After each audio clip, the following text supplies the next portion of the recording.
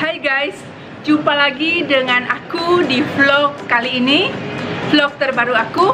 Sekarang aku lagi ada di Galaxy Mall. Mau shopping, mau jalan-jalan, makan.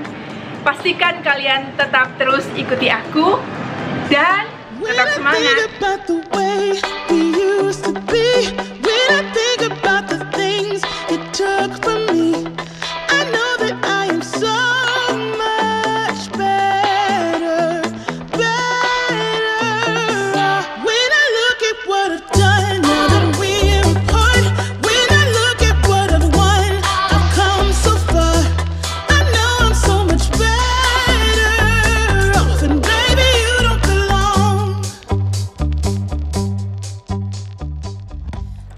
Guys, sambil aku menunggu pesanan aku datang, kali ini aku mau bicara tentang orang yang membosankan atau orang yang dijauhi oleh teman.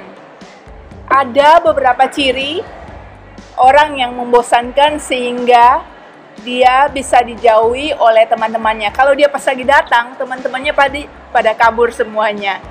Jadi aku mau kasih ciri-ciri ini supaya kita bisa introspeksi kamu dan aku kita nggak kejebak jadi orang dengan tipe seperti ini.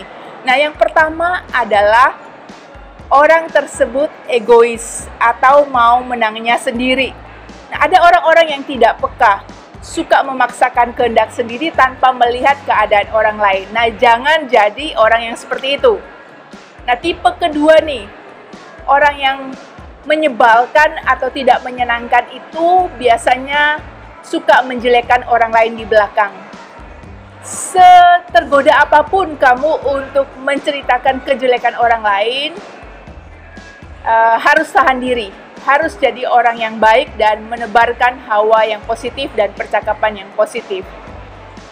Supaya kamu nggak dicap orang yang suka menjelekkan orang lain. Lama-lama kalau telinga kita mendengarkan terus-menerus kejelekan orang lain, maka kita akan melihat orang tersebut yang bercerita itu buruk.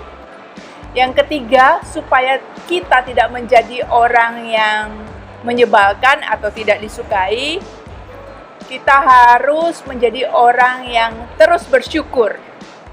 Orang yang dijauhi adalah orang yang suka bersungut-sungut. Jadi pastikan hidupmu dan hidupku penuh dengan ucapan syukur, penuh dengan rasa lega karena mendapatkan hal-hal yang baik dalam hidup. Jadi, stop bersungut-sungut, mulai kata-kata yang positif, kata-kata yang membangun, sehingga orang di sekitarmu terbangun oleh karena kata-katamu.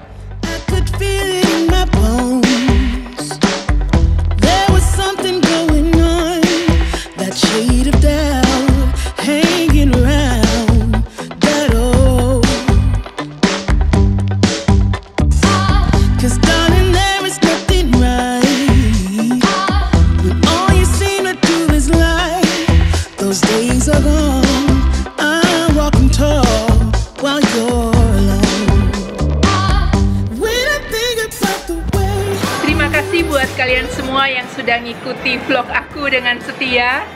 Jangan pernah tinggalkan setiap hari Kamis. Oh ya, bagi kalian yang belum subscribe, langsung ya di subscribe, like, share, dan komen. Tetap jaga kesehatan, semangat, dan sampai jumpa di vlog aku selanjutnya.